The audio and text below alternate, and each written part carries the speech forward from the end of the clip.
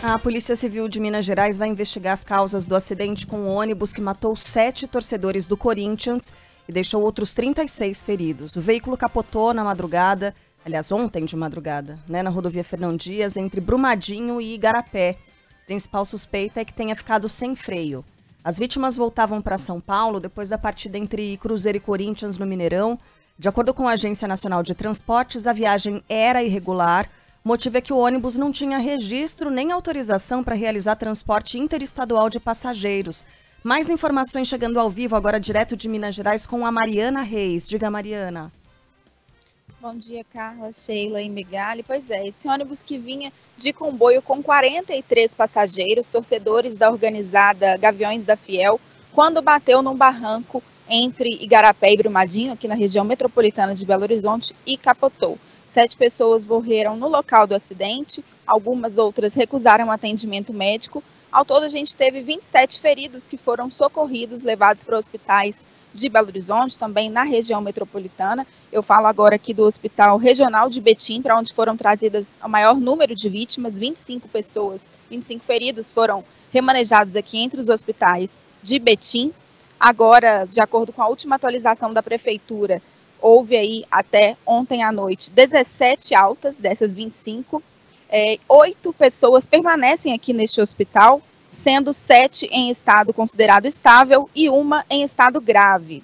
Como vocês lembraram, a ANTT, que é a Agência Nacional de Transportes Terrestres, destacou que essa viagem era irregular, porque esse ônibus ele não tinha autorização para realizar viagens interestaduais. Relatos de sobreviventes é de que o motorista tenha perdido os freios e avisou os passageiros. A nossa reportagem conversou com o Éder Carlos, de 35 anos, que estava nesse ônibus e relembrou aí os momentos antes do acidente. Vamos ouvir. Estava no fundão, perto do banheiro. Aí a gente acordou com a gritaria de que estava sem freio. Ouviu o motorista passando rápido por dois caminhões dois ônibus. E aí ele fez a manobra de jogar em cima do, do, do barranco para tentar. Acho que ele pensou que ia parar, mas do jeito que ele jogou, o ônibus tombou no barranco. Nossa reportagem também ouviu o aposentado Newton Barbosa, ele que é pai de uma das sete vítimas que não resistiu. Ele lembra que sempre ficava preocupado com essas viagens que o filho fazia para acompanhar os jogos. Vamos ouvir o Newton. Com certeza a gente se preocupava, né? Mas infelizmente, né? Que nem eu falei, né? não é uma criança, 33 anos praticamente. Então, na sexta-feira, minha esposa, ele falou para minha esposa: "Mãe, não briga comigo, mas eu estou indo para Minas". Aí minha esposa falou para ele: "Falar o quê para você, né? Não adianta, né? Só põe oração". Infelizmente aconteceu isso. Além dessa viagem clandestina e desse provável problema técnico, a geografia do trecho não ajuda. Nós conversamos com o tenente do Corpo de Bombeiros, Fernando Frois, que acompanhou a ocorrência. Ele destacou essas características que o local é uma descida íngreme com curvas fechadas. Tanto é que o trabalho para poder destombar esse ônibus e também remover os corpos levou mais de sete horas. O tenente então conversou com a gente e destacou que somente a perícia é quem vai realmente revelar a causa do acidente. Vamos ouvir. Nós, né, que estávamos no local e tivemos contato aí durante a coleta de informações, alguns passageiros relataram ter escutado o condutor do ônibus é, gritar e dizer que o veículo estava sem, sem freio, né? O sistema de freio estava inoperante. É, mas aí também cabe a, a perícia né, da Polícia Civil fazer os trabalhos e averiguar aí se realmente houve ou não é, um problema mecânico. Só para a gente concluir, a nossa reportagem também ouviu o diretor científico da Associação Mineira de Medicina do Tráfego, Dr. Alisson Coimbra, que destacou que essa contratação de serviço de transporte por viagem particular é algo muito comum entre as organizadas, porque é um transporte prático e também barato. Além do, dessa viagem, desse transporte ser mais em conta do que uma passagem comprada na rodoviária, por exemplo, os passageiros, os torcedores têm essa comodidade de combinar com o motorista, de levá-los até o estádio, aguardar e de lá mesmo eles já retornam para a cidade de origem. Mas essas cidades, essas, esse tipo de viagem realmente corre esse risco e ele ressalta aí, então, a necessidade de consultar a NTT para verificar se a viagem está regular, se é uma viagem licenciada, como parece que não foi então, né? Como a NTT já confirmou, não foi o caso desta viagem. A gente tenta contato desde ontem com a CFV Martins Transportes, que é a empresa responsável por este transporte, mas a gente até o momento não conseguiu retorno e seguimos aqui então aguardando mais atualizações sobre essas vítimas. O IML comunicou que ainda na noite de ontem, os sete corpos das vítimas levadas para lá já foram liberados. Eu vou trazer aqui agora os nomes. Renan Wellington Barbosa, que foi até o pai deste, dessa vítima que a gente ouviu aí na reportagem. José Antônio da Silva, Andreu Nicolas Francisco, Alain Luiz Sampaio Aguiar, Hamilton Rogério dos Santos, Rodrigo Lacerda de Barros, todo de São Paulo, e por último, Vanderlei Henrique Simão, que era mineiro, também estava nesse ônibus. Aqui em Betim, na região metropolitana de Belo Horizonte, o céu é nublado, os termômetros marcam 16 graus. Obrigada, Mariana, pelas informações. Bom trabalho por aí. Obrigada. Mariana vai seguir acompanhando esse assunto, é claro, havendo novidade, espaço aberto para ela. Sobre todas essas informações, a gente reforça aqui a importância do transporte regular, né? Porque o que é mais barato pode muitas vezes custar, custar caríssimo, custar vidas, como nesse caso aqui, o transporte de passageiros é coisa séria, precisa ser encarado assim. Empresas regulares pagam impostos, passam por vistorias constantes, respondem a uma série de critérios de segurança, às vezes da garagem mesmo. Tem um amassadinho no ônibus, já não tem autorização de saída, de partir para uma viagem, e precisa ser assim mesmo né? está transportando gente, está, está transportando vida, é coisa séria. Então, que a NTT volte a informar sobre os detalhes em relação a multas a essa empresa, em relação à fiscalização em cima dos donos dessa empresa. É impressionante que essa empresa ainda não tenha se manifestado, não tenha falado. Já está é, é, configurado o transporte irregular de passageiros, porque não havia essa autorização formal, mas a gente precisa ir além. Primeiro, aguardar o trabalho final da perícia, mas também saber dessa empresa e punições, responsabilização em cima dessa empresa. Bom, a gente vai continuar no assunto, porque a Secretaria Nacional do Consumidor vai investigar a decisão da 123 Milhas de suspender os pacotes e a emissão de passagens da linha promocional. A medida vale para viagens com datas flexíveis com embarques previstos entre setembro e dezembro. Quem tem os detalhes é Tiago Muniz. Bom dia, Muniz. Bom dia, Megali. Bom dia a todos. No comunicado enviado a clientes, a 123 Milhas afirma que o cancelamento ocorreu, abre aspas, devido à persistência de circunstâncias adversas imprevistas no uhum. mercado e também na oferta de voos que estão além do controle da empresa. Fecha aspas. Justificativa da empresa e muita gente chupando o dedo. É, Antônio Vasconcelos, por exemplo, ouvinte da Band News FM, tinha comprado quatro passagens para levar a família para a Disney. A viagem seria daqui a pouquinho, primeiro de setembro. Ele e a esposa foram surpreendidos com um e-mail enviado pela 123 Milhas avisando sobre o cancelamento. Minha esposa recebeu no, na caixa de e-mail dela informando que estava cancelado o pedido e que nós não teríamos, na verdade, a emissão das passagens. Nós não tivemos nenhum tipo de contato, foi feito nenhum contato da empresa 123 Milhas conosco e nenhuma explicação foi dada com relação a esse cancelamento. E a gente começou a verificar as notícias. O principal problema é a gente convencer os nossos filhos agora, que eles inclusive trocaram uma festa de aniversário que nós iríamos fazer para eles, para realizar essa viagem agora para Disney. Então é uma frustração muito grande. Situação semelhante vivida pela fisioterapeuta Érica Ferreira, que iria para Lisboa com a família. Foram oito passagens já pagas. Ela conta que ainda não recebeu o aviso do cancelamento por parte da 123 Milhas, mas até agora nada da emissão de bilhetes. As nossas passagens são para agora, dia 16 de outubro a 21 de outubro. São seis dias apenas. Então a gente está aqui desesperado porque eu estou com hospedagens fechadas, eu estou com carro alugado, né? A gente está com muita coisa ali já organizada para poder arcar com isso, né? Com esse tipo de viagem, com esse sonho de família. A gente está bastante apreensivo em qual caminho seguir, porque eu tentei os canais de comunicação com a 1, 2, 3 milhas e eu não estou conseguindo acesso nenhum. Por enquanto, o que, que a 123 Milhas tem prometido? A devolução integral do valor, mas por meio de vouchers, acrescido de correção monetária de 150% do CDI ao mês. A empresa diz ainda que esses vouchers poderão ser usados em até 36 meses. Em nota, o Procon de São Paulo diz que vai notificar a empresa oficialmente hoje e vai pedir medidas para auxiliar os consumidores, de acordo com o diretor de atendimento e orientação do Procon de São Paulo, Rodrigo Tritapepe. Na pandemia, nós tivemos uma lei especial que garantiu à empresa, por exemplo, a não devolução do dinheiro e a concessão de créditos. Mas veja, era uma lei especial que estava em vigor e hoje não vale mais. O que vale hoje é o Código de Defesa do Consumidor, o artigo 35. 35 é o cumprimento da oferta.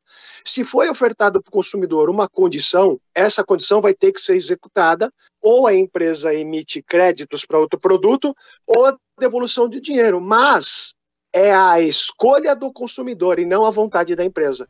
O diretor de atendimento do Procon de São Paulo destaca ainda que é uma cadeia de prejuízos por parte do consumidor que precisam ser consideradas na hora de ter esse ressarcimento, como, por exemplo, a contratação prévia de hotéis e outras despesas já acordadas com outras empresas que não a 1, 2, 3 milhas. Esse assunto deve render muito ao longo do dia, além do Procon de São Paulo, Procon do Rio, Procon de Minas Gerais, oh. autoridades federais, todo mundo de olho. Lembra o caso que a gente teve há pouco tempo com outra prestadora de serviço, a URB, que a gente também noticiou aqui na Band News FM.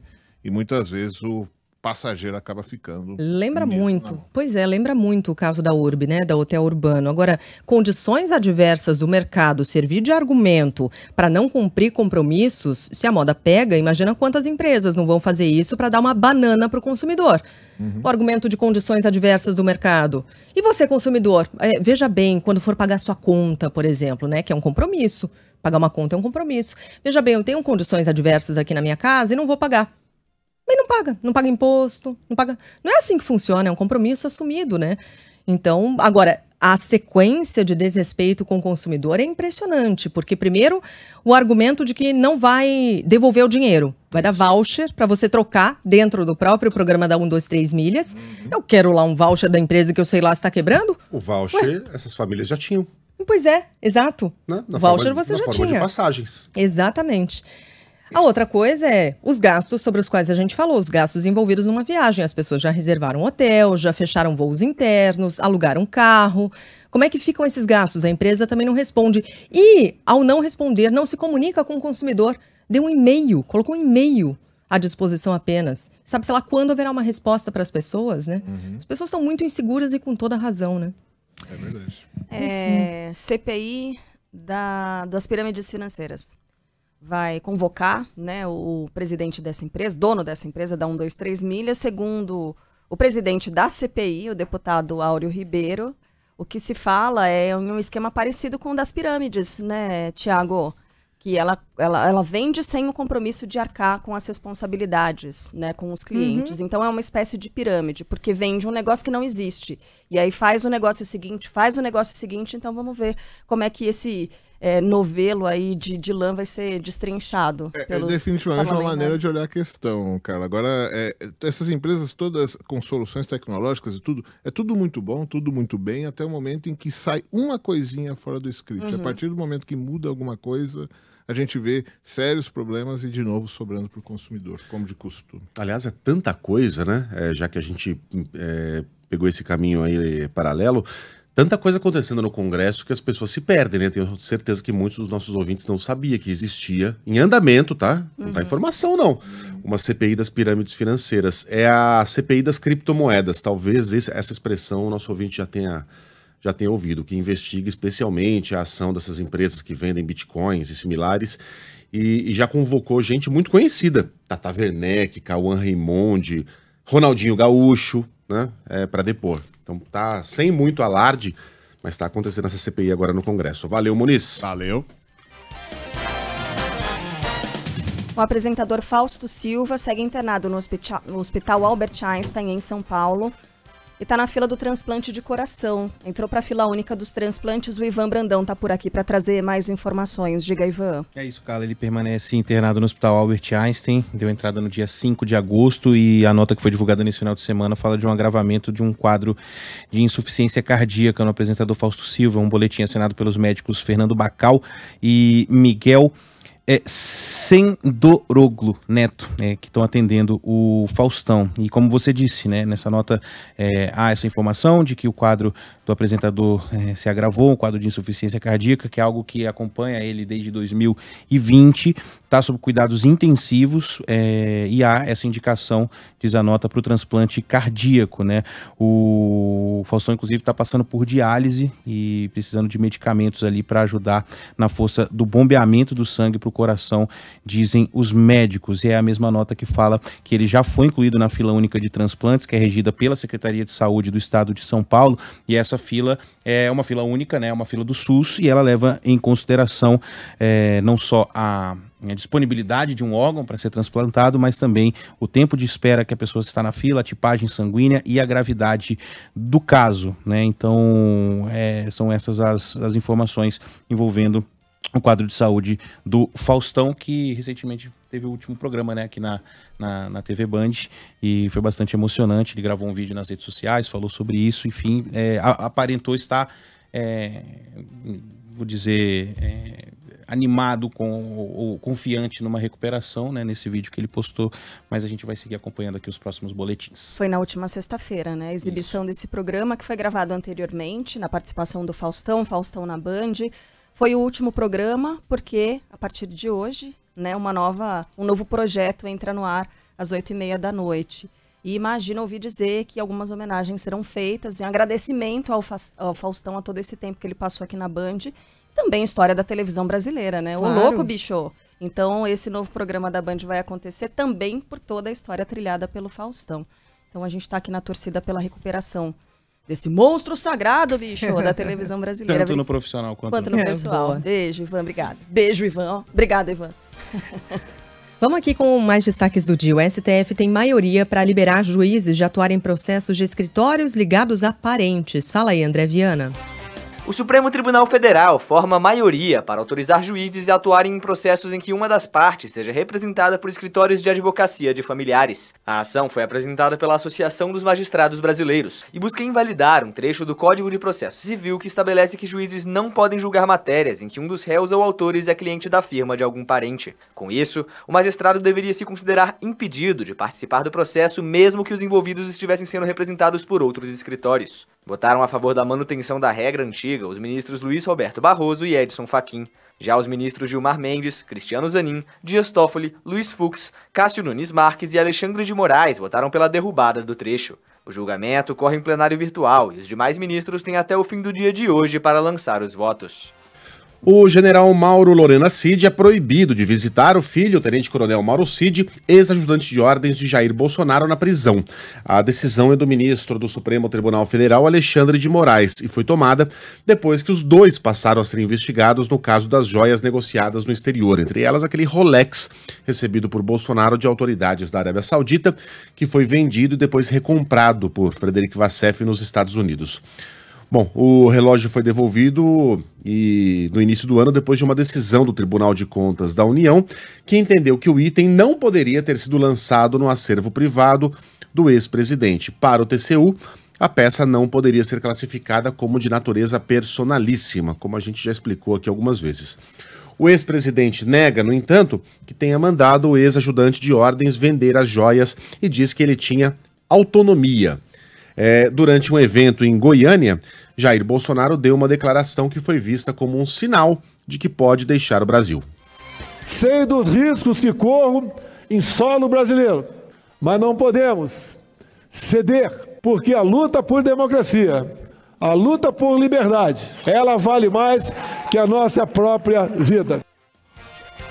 Bom, a, a ideia de que Mauro Cid teria autonomia para colocar à venda um presente recebido por Jair Bolsonaro é, é ridícula por mil razões. A primeira é que o presente não é de Bolsonaro, é do Estado brasileiro. Sendo de Bolsonaro, vamos dizer que esse era o entendimento no gabinete, Sheila. Hum. Não, aqui o entendimento é de que esse relógio pertence ao presidente. Ah, então é assim? que funciona a relação entre Bolsonaro e Mauro Cid, ele tem autonomia para vender qualquer coisa que pertence ao presidente. Ele pode vender, por exemplo, os ternos de Bolsonaro? Ele pode vender o carro de Bolsonaro?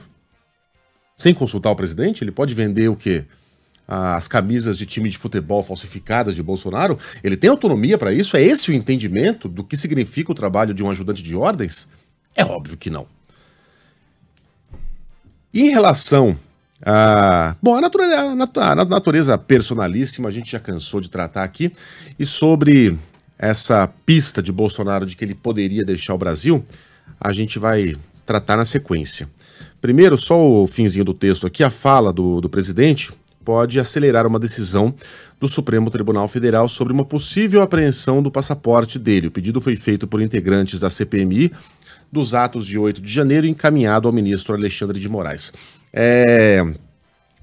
Tem muita gente que está na expectativa de uma prisão iminente de Jair Bolsonaro, uma prisão preventiva, etc. E a gente tem dito aqui que isso vale mais para conversa de rede social e de boteco do que para os fatos de verdade, né?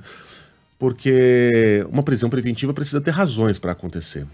Mesmo que Mauro Cid eventualmente diga publicamente que sim, ele fez tudo o que fez por ordem de Jair Bolsonaro, que Mauro Lorena Cid confirme a tese, que Frederic Vassef conte logo é, quem deu as ordens para que ele fosse aos Estados Unidos retomar aquele relógio Rolex, mesmo que a gente descubra qual foi o destino do relógio Patek Philippe descubra que foi por ordem do presidente, que ele eventualmente foi vendido e escondido em algum lugar, mesmo que Bolsonaro acumule uma dúzia de batons na cueca, é, ainda assim, não necessariamente isso seria o suficiente para justificar uma prisão preventiva.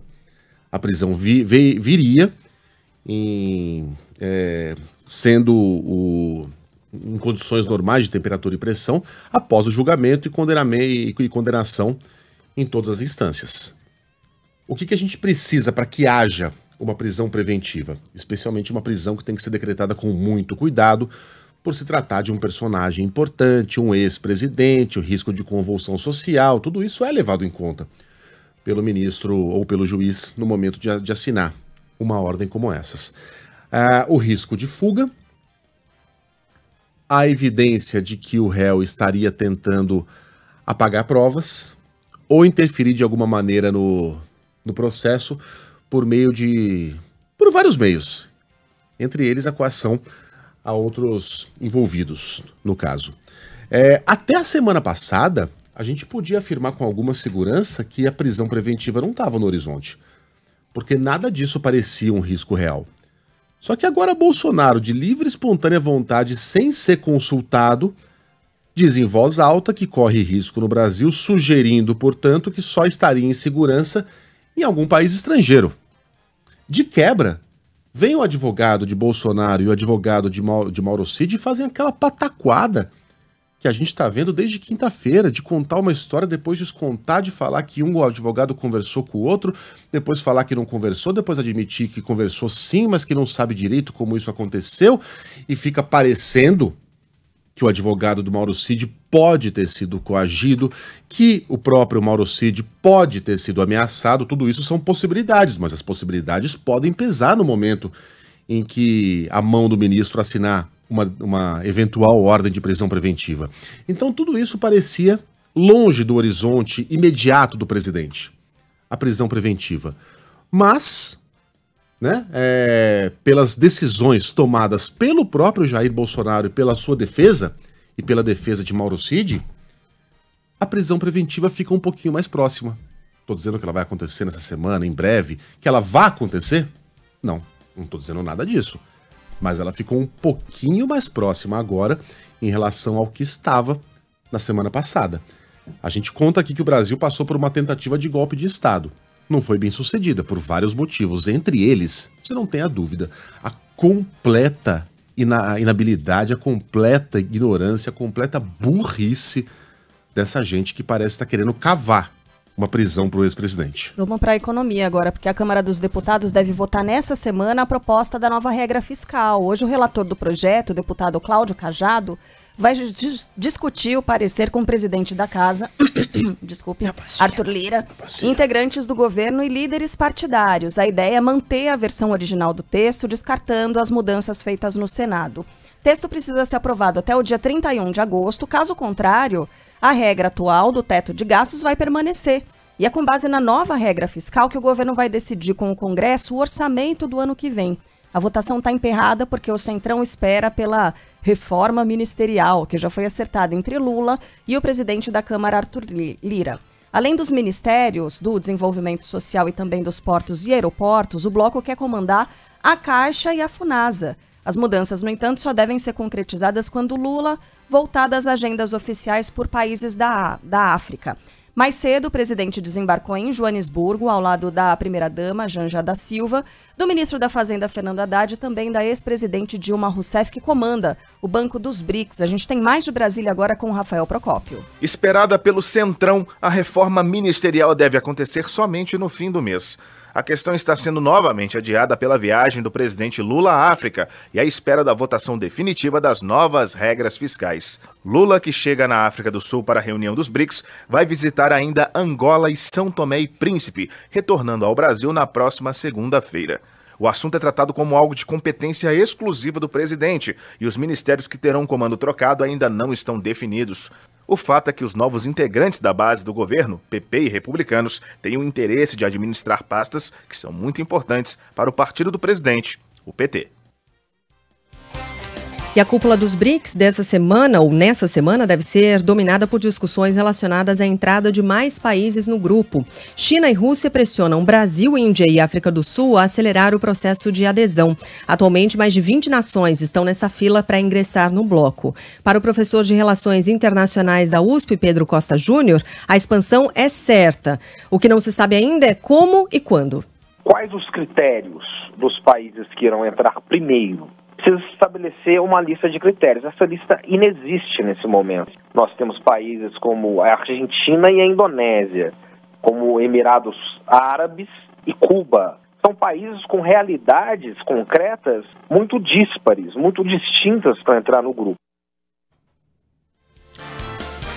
Mudando de assunto, o policial civil que emprestou a arma para a mulher balear um advogado. Todo mundo viu esse caso, né? Hum. Todo mundo aqui está sabendo do que a gente está falando um caso bárbaro. Bárbaro, é. As imagens são muito fortes, né? Inacreditável, inacreditável o que aconteceu na, na, capital do Amazonas. O policial civil que emprestou a arma para a esposa ir lá e balear um advogado enquanto o casal agredia uma babá foi preso em Manaus. O Vitor Litaif tem as informações. Estão presos o policial civil Raimundo Nonato Machado e a esposa Jussara Machado, que agrediram uma babá e balearam o advogado em um condomínio de Manaus. Os dois permanecerão presos à disposição da justiça. Com relação ao investigador, a Polícia Civil afirma que o caso também será apurado administrativamente. Imagens de câmeras de segurança mostram Jussara agredindo a babá Cláudia Gonzaga após uma discussão na saída do elevador. Raimundo Nonato acompanha de perto e impede o socorro da vítima. O advogado advogado Igor Colares aparece para ajudar a babá, mas também é agredido pelo policial. O investigador então entrega a arma para a esposa, que dá um tiro na perna do advogado. Ele foi atendido em um hospital da região e passa bem. O caso aconteceu na última sexta-feira. Em nota, a Polícia Civil do Amazonas disse que não compactua com qualquer desvio de conduta e afirmou que todas as transgressões do agente serão apuradas.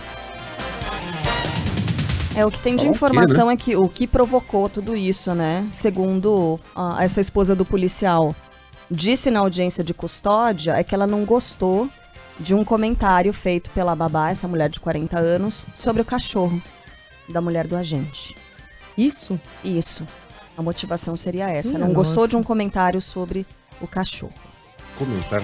Quem comenta, ou, quem comenta alguma coisa sobre um cachorro, ou fala que ele é lindo, bonitinho, ou faz uma brincadeira qualquer. Né? Nada que. Aí alguém falará assim, mas, ah, mas como se atreve? Como se atreve o quê, cara? As pessoas é, interagem, né? conversam entre si, fazem brincadeira. Se a brincadeira não é bem-vinda, você pede desculpas e a vida segue. Não há nada que justifique uma, uma reação dessas que termina com, com uma pessoa baleada. E olha, parabéns a esse policial civil, hein? Enjaulado no lugar que merece, solta a arma na mão da esposa, completamente desequilibrada, imaginando que o desfecho seria qual? Que ela, como um. um- O que, que ele imaginava? Que, que, que ela fosse lá, intimidasse as pessoas? Ah, ah, sai daqui. É. O que, que ele imaginava que pudesse acontecer? Que, que, que pudesse impedi-la de, de apertar o gatilho? Deu no que deu. Esse irresponsável que trata assim o seu, seu objeto mais importante de trabalho, né? A- o privilégio que, que, que lhe é concedido pelo Estado como braço armado do Estado brasileiro. É para isso que serve um policial. Esse cara tem que ser enjaulado, investigado muito a fundo e processado imediatamente. Ela, ela nem se fala, né? Enfim, que casal, hein? Nossa. Na Bahia, a Polícia Federal ainda investiga o assassinato da líder quilombola Bernadette Pacífico. A Yala Orixá, Yala Orixá foi morta por dois homens armados que usavam capacetes. Isso foi na quinta-feira da semana passada, um crime bárbaro por causa da representatividade né, dessa, desse grupo dos quilombolas e ela era uma líder é, muito respeitada e também pela violência do crime. Ela levou mais de 10 tiros na cabeça.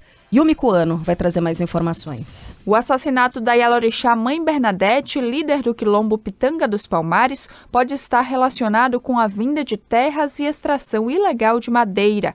A informação é da ouvidora do Ministério das Mulheres, Thaís Lima. Esta é uma das linhas da investigação. A investigação corre é, em sigilo, mas nós estamos acompanhando de perto o, o desenrolar dessa investigação para que a gente possa ter um resultado efetivo, né, para que os agressores sejam identificados e punidos. A comitiva da pasta esteve na sexta e no sábado na Bahia para participar do velório e do sepultamento de Mãe Bernadette. Segundo a secretária estadual de Promoção da Igualdade Racial e dos Povos e Comunidades Tradicionais, Ângela Guimarães, os familiares da Yalorixá foram retirados do quilombo como medida de proteção e o policiamento foi reforçado na região. O governador Jerônimo Rodrigues se reuniu no sábado com secretários estaduais para definir uma estratégia integrada de atuação nas investigações do caso, lideradas pelas polícias civil e militar da Bahia. A Polícia Federal também apura o caso. Em comunicado, a ONU condenou o crime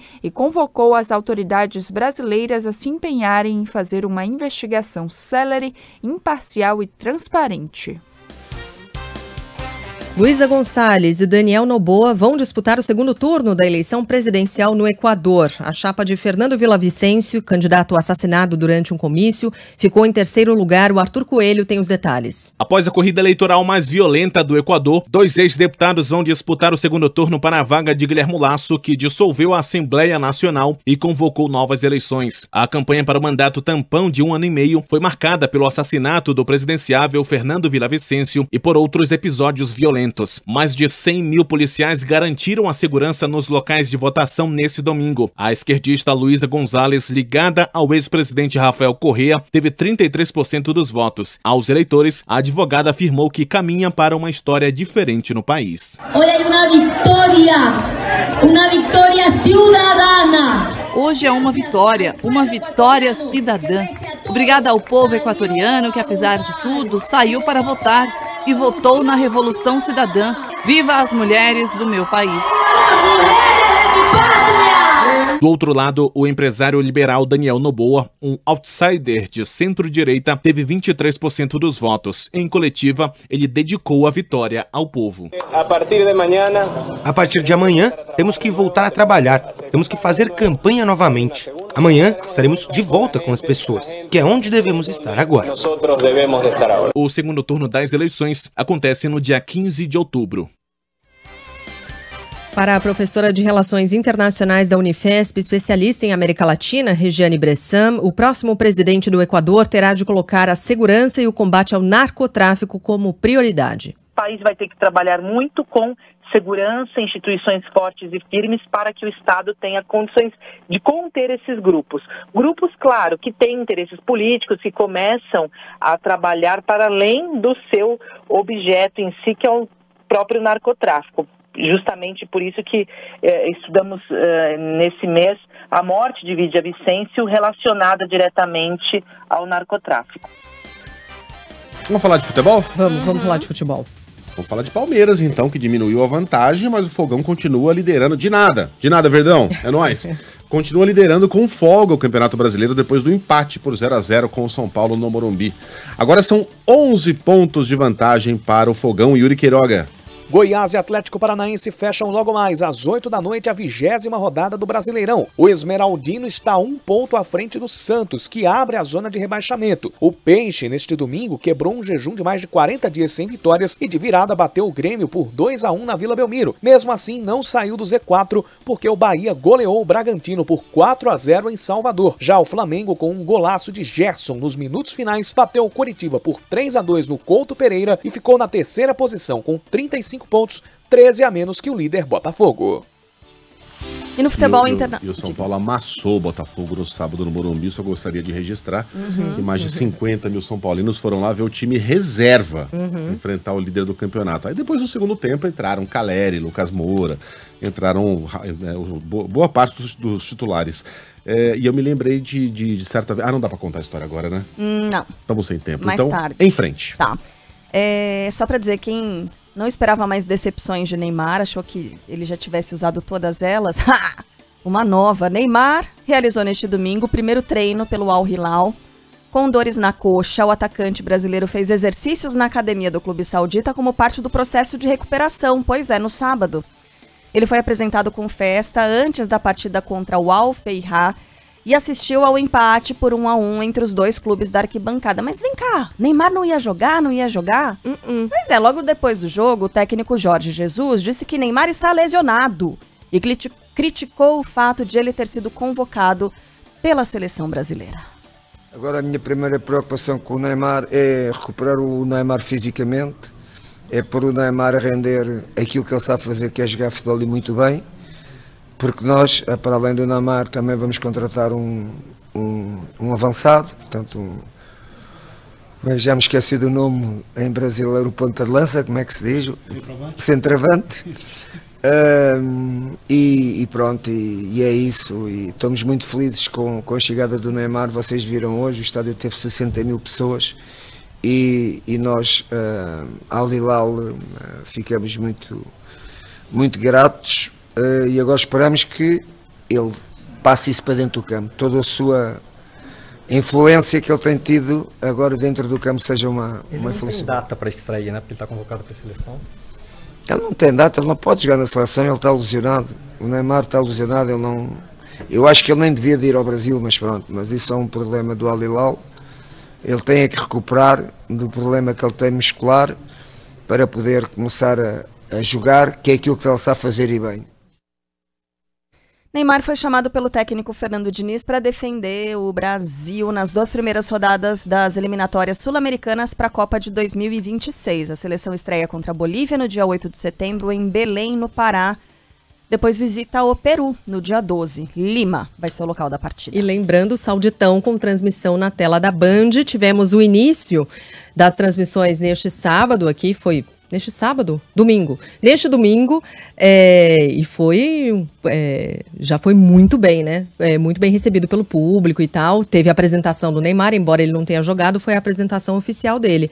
Mas é isso, só para lembrar as transmissões dos jogos do Sauditão na tela da Band. Podemos amarrar só aqui, já que a gente está com futebol, a gente começou o jornal falando disso, conquista da Copa do Mundo Feminina. A Espanha se tornou o segundo país a levantar a taça em mundiais feminino e masculino. Antes dela, só a Alemanha, né? Vencedora. A Inglaterra não ganhou nenhuma, né? Não, não. É, então. É, Estados Unidos ganhou no feminino, né? Então é campeã no feminino, mas não no masculino. Canadá, Enfim, ontem a equipe espanhola se sagrou campeã, venceu a Inglaterra por 1 a 0 em Sydney, gol da lateral esquerda e capitã Olga Carmona. Já falamos sobre o beijo, tá? Se você perdeu, só no comecinho do jornal. Uhum. Você só perdeu um puxar. beijo. só puxar aqui a barra Na bochecha. Vai. Futebol, com Milton Neves. Oferecimento Irrara. Agricultura é a nossa vida. Hotel Terras Altas. Lazer, diversão e gastronomia pertinho de você. Iveco. Conforto, economia e tecnologia. Esse é o S-Way, o novo caminhão pesado da Iveco. E Sicredi. Conheça a primeira instituição financeira cooperativa do Brasil. Sicredi. Gente que coopera, cresce.